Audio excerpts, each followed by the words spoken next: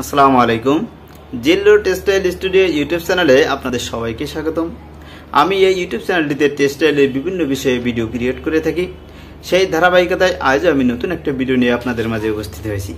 আজকের এই ভিডিওতে আমি গার্মেন্টসের একটা টিমস নিয়ে আপনাদের সামনে ডিসকাস করব এবং এটা কোথায় ইউজ করা হয় এবং দেখতে কেমন সেটা আপনি এই ভিডিওতে আপনাদেরকে দেখিয়ে দেব। তাহলে চলুন দেরি না করে টিমসটা ফার্স্ট। টিমস কি? এটা তো আমি অন্য ভিডিওতে বলেছিলাম, তারপরে সংক্ষেপে একটু বলে দিই। টিমস হলো একটা ফেব্রিককে, টুকরা ফেব্রিককে অ্যাটাচ করে গার্মেন্টসে রূপদান করতে যে যে ছোটো ছোটো এলিমেন্ট দরকার হয়ে থাকে, সেটাই হলো টিমস যেমন সুইং থ্রেড একটা টিমস ফিলামেন্ট থ্রেড একটা টিমস বাটন একটা টিমস মোবিলিয়ন টেপ একটা টিমস যেগুলো ইউজ করার সময় গার্মেন্টস থেকে আপনি আলাদা করতে পারবেন না, এগুলো হলো টিমস তা আজকে আমি সেই টিমসের ভিতরে একটা টিমস দেখাবো, সেটা হলো মোবিলিয়ন টেপ আমার কাছে যে একটা পেপারের মতো দেখছেন, এটা মনে হবে যে পিপি বা ফেলা মিথাইল পলি। দেখবেন টানলে লম্বা হচ্ছে। এই যে স্থিতি স্থাপকতা আছে। এই যে স্থিতি স্থাপকতা যুক্ত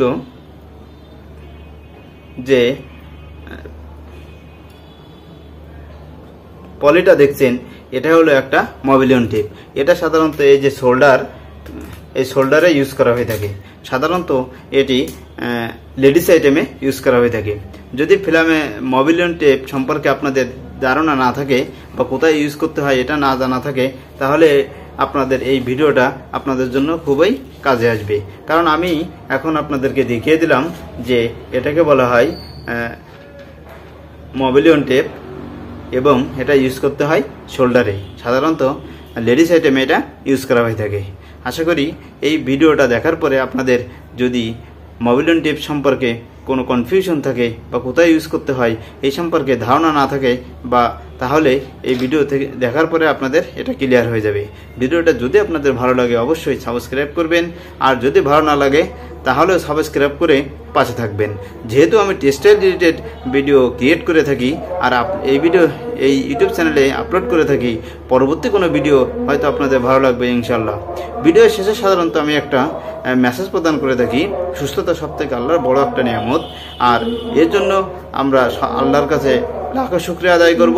সেই সাথে সাথে আমরা ফিজিক্যাল এক্সারসাইজ করব। ফিজিক্যাল এক্সারসাইজ নিজেকে সুস্থ এবং ফিট রাখতে সাহায্য করবে। আপনি নিজে ফিজিক্যাল এক্সারসাইজ করুন এবং অন্যকে ফিজিক্যাল এক্সারসাইজ করতে উৎসাহিত করুন। থ্যাংক ইউ অল আল্লাহ হাফেজ।